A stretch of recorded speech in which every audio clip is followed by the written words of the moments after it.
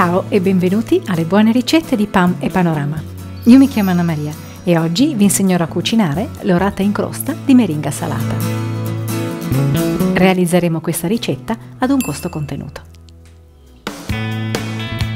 Per la realizzazione di questa ricetta sono necessari 20 minuti per la preparazione e 30 minuti per la cottura. Gli ingredienti indicati sono sufficienti per 4 persone e il livello di difficoltà è minimo. Ecco i prodotti per la ricetta di oggi. Orata fresca levata in Italia Panorama, sale iodato fino, uova extra fresche da allevamento a terra, scalogno, chiodo di garofano e alloro. Ecco gli ingredienti per la ricetta di oggi. 2 orate, 2 scalogni, 2 foglie di alloro, 2 chiodi di garofano, 1,5 kg di sale fino, 6 uova. La ricetta di oggi, l'orata in crosta di meringa, racconta di una tecnica di cottura, la cottura in crosta appunto, che può essere commestibile, come per esempio quando avvolgiamo del salmone con della sfoglia, o come in questo caso non commestibile se utilizziamo il sale o per esempio l'argilla. Per cui Prendiamo in questo caso due orate, ma se avete dei branzini è una valida soluzione, e, e fateli pulire dal vostro pescivendolo eviscerandoli, mantenendo però le squame. Quelle servono per dare maggiore protezione alla carne, quando, alla carne appunto del pesce quando si andrà in cottura e eh, andiamo ad inserire all'interno di ognuna delle, delle, nostre orate un piccolo bouquet garni, in realtà un mazzetto aromatico steccato, per cui prendiamo lo scalogno, prendiamo la foglia di alloro e andremo a steccare, cioè chiudere in realtà con un chiodo di garofano. E andiamo ad inserire questo mazzetto aromatico all'interno delle nostre orate. Come vi dicevo, il nostro pescivendolo ha provveduto a viscerarle, noi comunque a casa andremo a lavarle, a sciacquarle sotto l'acqua fredda e poi a tamponarle con della carta assorbente, con della carta casa. E ora procediamo con la preparazione della meringa, la meringa di sale che ci servirà poi per completare la cottura e nel frattempo abbiamo già acceso il forno statico a 160 gradi. Per cui eh, all'interno di questa eh, ciotola inseriamo gli albumi, sempre meglio che siano freddi, e li montiamo lentamente, aggiungendo un po' alla volta un chilo e mezzo, l'abbiamo già pesato naturalmente, di sale fino.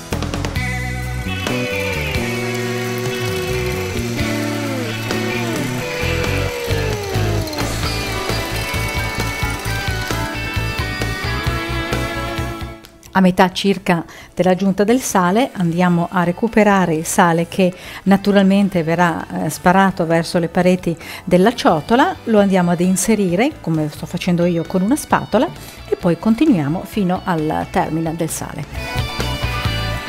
Ora prendiamo un sacco a poche o un sacco da pasticcere. Una volta erano in tessuto, poi li hanno fatti in silicone, adesso in maniera molto più igienica sono eh, venduti eh, comunemente in tutti i negozi in rotoli usa e getta, come potete vedere in, in, in questo momento. Per cui inseriamo il sacco a poche, lo apriamo in questo modo e lo inseriamo all'interno di un contenitore cilindrico come questo. Potrebbe essere anche un bollitore del latte, per esempio.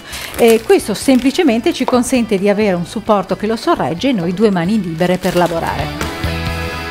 Poi andiamo a inserire all'interno del sacco a poche questa meringa così da distribuirla in maniera più omogenea.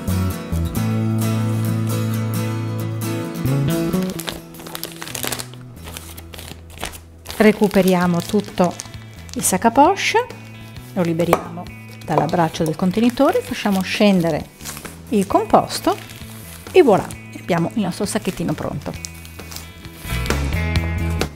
E ci posizioniamo per continuare la ricetta. Quindi una teglia che contenga agevolmente il pesce, orato branzino come si diceva, e la nostra meringa. Quindi andiamo a tagliare la punta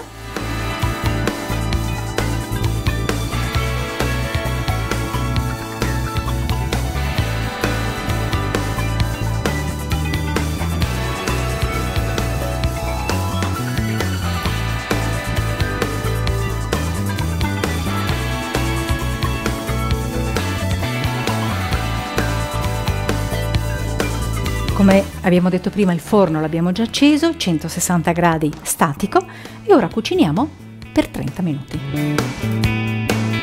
Sono passati i 30 minuti e la nostra eh, orata in crosta è perfetta e cotta, come potete vedere la superficie si è indurita, attenderemo qualche minuto e poi la romperemo con un colpo secco utilizzando appunto un coltello, un, uno strumento di cucina e lo porteremo in tavola in modo tale che ci sia anche un po' così di sorpresa per i nostri ospiti.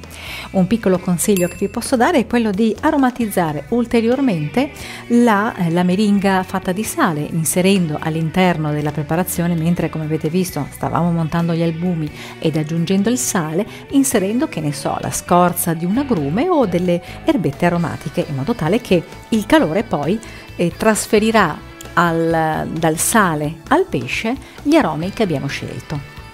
E buon appetito! Vi auguro quindi buon appetito con PAM e Panorama. Per questa ed altre ricette visitate il sito ricette.pampanorama.it.